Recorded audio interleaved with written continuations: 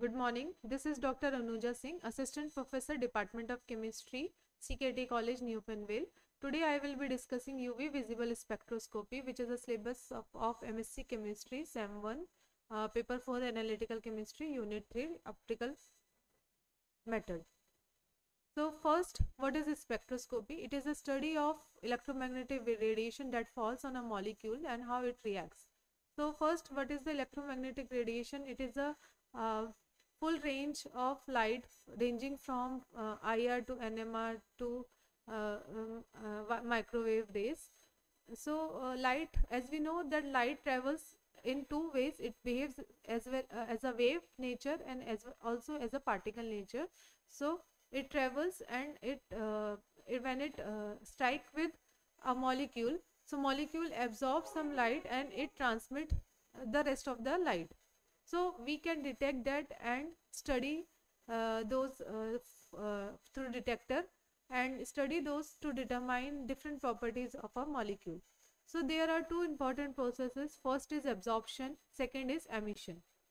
So that we will discuss.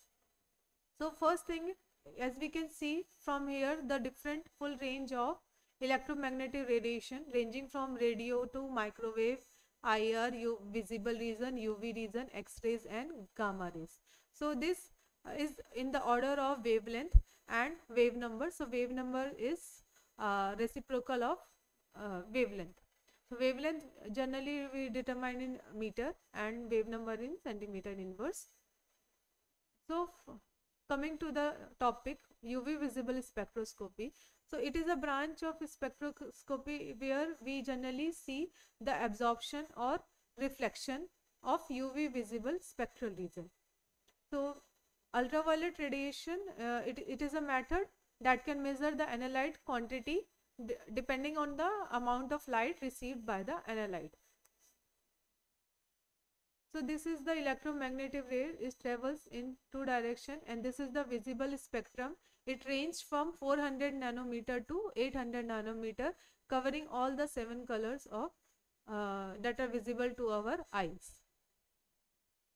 So this is the instrumentation of uh, UV visible spectrophotometer. So generally uh, it comprises of light source from where we get the UV uh, light then uh, wavelength selector we can select a wavelength particular wavelength it, at which we want to take uh, the reading of our sample. Then this light travel to through our sample. So in here some of the light is absorbed the rest will be transmitted. So the transmitted light will be detected by detector uh, and that will be converted to electric current and through the computer we can uh, find out the signal and we can uh, uh, calculate our result. This is the instrument uh, how it really looks like.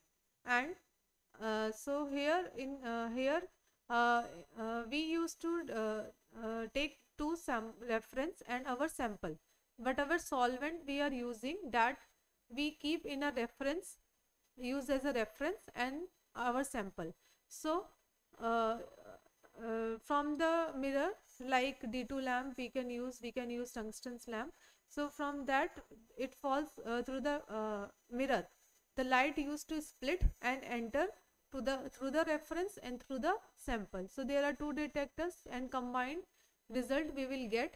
So combined result will be uh, sample minus reference. Okay, whatever solvent we are using that uh, data will be automatically detected from the sample reading. And the UV uh, visible uh, graph looks like this broad band. Generally, we'll get the broad band and uh, uh there is one term lambda max that is wavelength of maximum absorption. That means uh, the wavelength at which will we get the maximum absorbance. So, coming uh, to the principle or basics of this spectroscopy, so as I told ki UV visible range uh, from 200 to 800 meter and here we are calculating uh, the uh, analyte concentration. So what happens? Whatever the light falls on a molecule it absorbs that light and goes from uh, uh, goes to excited state from ground state. That is known as absorption process. And from excited state the molecule again come back to the ground state. So that is known as emission so in absorption the absor we uh, calculate the term absorbance. So absorbance is uh, uh, a reciprocal of transmittance. So a is absorbance and t is transmittance that is the transmitted light. So a equal to minus log of 1 by t. Uh, so uh, according to lambert's beer's law whatever the absorption absorbance is there that is directly proportional to two things. First is length path length of the cell I mean how much light uh, it is traveling to the sample uh, container. So generally the sample container length is around one uh, one centimeter is standard one. So uh, first thing a is proportional to path length that is l second a is constant uh, proportional to the analyte concentration that is c so combining these two terms, we get the equation A equal to epsilon LC that is known as Lambert's-Beer's law. That's how we calculate the analyte concentration if we uh, got the graph for absorbance. So next is uh, what happens. So uh, the incident light what is coming it is uh, uh, interact with the electron cloud and uh, it, it, gives us some electronic transition.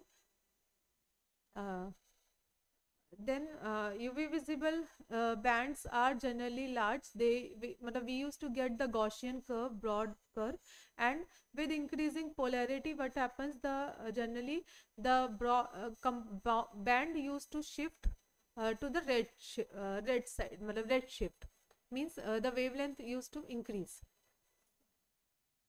it also depends on the temperature and now uh, what is the strength or what are the advantages of using UV visible spectroscopy? So this technique is non-destructive and uh, the measurement can be done very quickly. And uh, instrument is ready easy to use and uh, uh, whatever the data analysis uh, it takes minimum processing time and the instrument is generally inexpensive to acquire and operate and it is simply uh, available generally to most of the chemi chemistry laboratories. Mm, but uh, this instrument also or this spectry also has some limitation. So uh, first limitation is stray light. If any light uh, coming un uh, unwanted light coming inside the instrument, it can get affected to the result. Then light scattering, if light scatters, often it causes some uh, uh, uh, uh, caused by suspended solids in liquid sample. So it may cause some serious measurement errors.